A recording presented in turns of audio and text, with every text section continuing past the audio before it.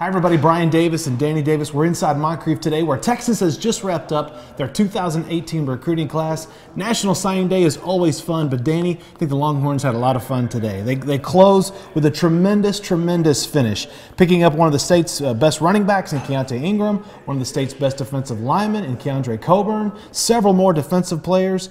Overall, the third best recruiting class in America. This looks pretty good.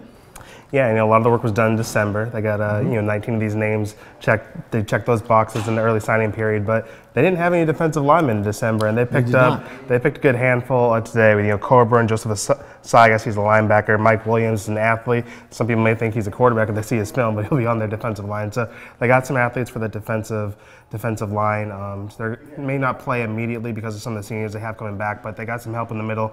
They got some depth good a good day for uh, uh, Coach Tom Herman, Todd Todd Orlando, uh, Oscar Giles, uh, the defensive staff there. Yeah, absolutely. And it was very apparent. It was a big reminder, I thought, earlier this week, how they needed more defensive help when all the when there were six players announced that made it to the NFL Combine. Mm-hmm. They were all the defensive underclassmen: Malik, DeShon, Holton Hill. Well, punt, a punter.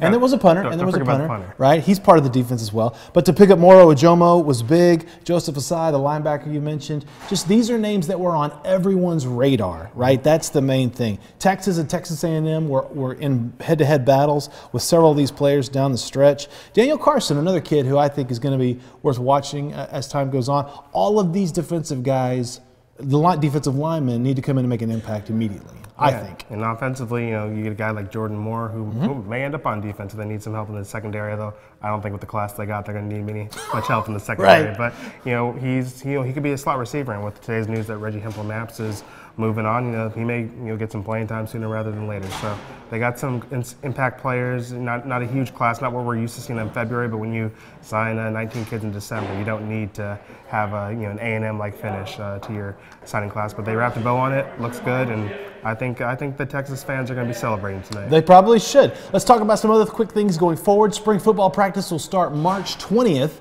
And go ahead and put this on your calendar. The spring game will be April 21st at Royal Memorial Stadium. The most interesting thing, Danny, today was Tom Herman thinking about calling plays next season. Yeah, it could be interesting. I mean, you're going to have some question marks with you know Herb Hand, Tim Beck, uh, Drew Mehringer, all have play, all have play calling experience, but as does Tom Herman. So we'll have to see what happens in the spring and see who's calling those plays once Maryland uh, that game kicks off in Maryland. Absolutely. Lots to talk about, but we have to wrap it up here.